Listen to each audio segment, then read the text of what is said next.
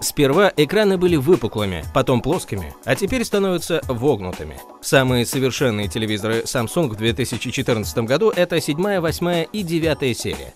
Здесь есть и плоские, и изогнутые экраны, и Smart TV, и Ultra HD разрешение, и голосовое, и жестовое управление, и просто огромные диагонали.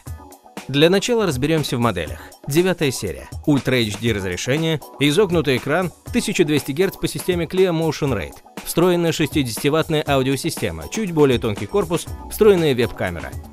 Восьмая серия. Делится на модели с Ultra HD разрешением и плоским экраном и на модели с HD разрешением и изогнутым экраном. У обеих версий 1000 Гц, но разная мощность динамиков.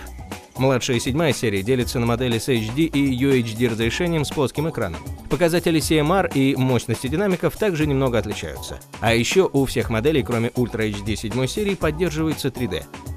Последнее серьезное отличие – приставка Samsung Evolution Kit.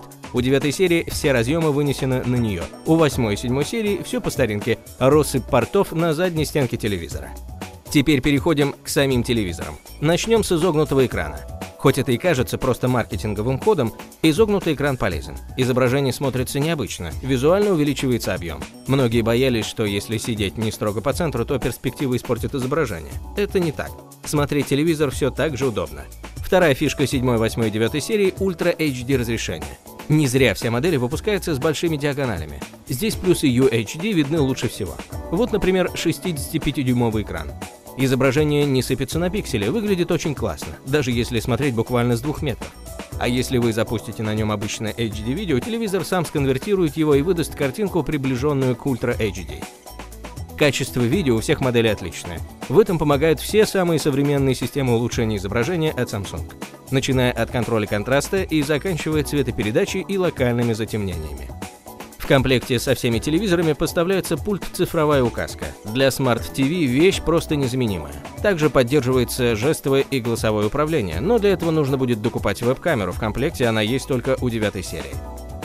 Жестовое управление работает вполне адекватно, только нужно хорошее освещение в комнате. Вечером с выключенным светом так управлять телевизором не получится. Голосовое управление поддерживает русский язык, и оно действительно работает. Ошибок с распознаванием практически нет. Сильная сторона большей части моделей – аудиосистема. Это касается телевизоров с системами на 40 или 60 Вт. Их возможностей хватит даже ценителю хорошего звука. Для подключения периферии у всех телевизоров есть буквально полный набор разъемов. До 4 HDMI, USB, компонент, цифровой аудиовыход и так далее. Что касается Smart TV, тут все стандартно. YouTube, полноценный браузер, игры, возможность установки приложений. Приложения и страницы открываются быстро, к примеру, видео на YouTube загружается буквально через секунду после клика. Вообще, самсунговский Smart TV на сегодняшний день однозначно один из лучших. Классная функция мультилинк. Экран телевизора можно поделить на две или четыре части в зависимости от модели. Примеру, можно смотреть ТВ и одновременно следить за текстовой онлайн-трансляцией матчей в интернете. Еще Samsung отлично работают со смартфонами и планшетами. Можно отправлять картинку с телевизора на планшет и наоборот, или использовать смартфон в качестве пульта. В общем, если вы хотите телевизор, в котором будут буквально все самые современные технологии, отличный дизайн и классное качество видео, любой телевизор Samsung из 7, 8 или 9 серии вам подойдет.